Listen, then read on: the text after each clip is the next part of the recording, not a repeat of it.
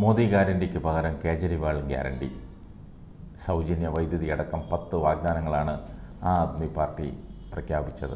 ആ ആദ്മി പാർട്ടി വിജയിച്ചാൽ നടപ്പാക്കാൻ പോകുന്ന പത്ത് വാഗ്ദാനങ്ങളെന്നും പറഞ്ഞാണ് ഡൽഹി മുഖ്യമന്ത്രി അരവിന്ദ് കെജ്രിവാൾ ഈ വാഗ്ദാനങ്ങൾ പ്രഖ്യാപിച്ചത്. സൗജന്യ വൈദ്യുതി വിതരണം മികച്ച ചികിത്സ തുടങ്ങിയവ ഈ പത്ത് വാഗ്ദാനങ്ങളിൽ ഉൾപ്പെടുന്നു. ബി ജെ പി വാഗ്ദാനങ്ങൾ നിറവേറ്റുന്നതിൽ പരാജയപ്പെട്ടു. എന്റെ ഉറപ്പുകൾ ട്രാക്ക് റെക്കോർഡ് തെളിയിച്ചിട്ടുണ്ട്. കേജ്രിവാൾ ഗ്യാരണ്ടിയാണോ അതോ മോദി ഗ്യാരണ്ടിയാണോ ഏത് ഗ്യാരണ്ടിയാണ് വിശ്വാസത്തിൽ എടുക്കേണ്ടതെന്ന് ജനങ്ങളാണ് തീരുമാനിക്കേണ്ടത്. പതിനഞ്ച് ലക്ഷം രൂപ അക്കൗണ്ടിൽ നൽകുമെന്ന് മോദി പറഞ്ഞത് നടന്നില്ല. മോദിയുടെ ഒരു ഗ്യാരണ്ടി നടന്നിട്ടില്ല. അടുത്ത വർഷം മോദി വിരമിക്കും. മോദി റിട്ടയർ ചെയ്താൽ ആര് ഗ്യാരണ്ടി നടപ്പാക്കുമെന്നാണ് അരവിന്ദ് കേജ്രിവാൾ ചോദിച്ചത്.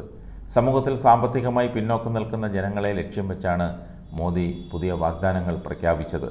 എല്ലാവർക്കും സൗജന്യ വൈദ്യുതി പദ്ധതി യാഥാർത്ഥ്യമാക്കുന്നതാണ് പ്രധാനപ്പെട്ട കേജ്രിവാളിന്റെ വാഗ്ദാനം. ഡൽഹിയിൽ തടസ്സമില്ലാത്ത വൈദ്യുതി വിതരണത്തിന്റെ മാതൃക രാജ്യമൊട്ടാകെ ആവർത്തിക്കണം.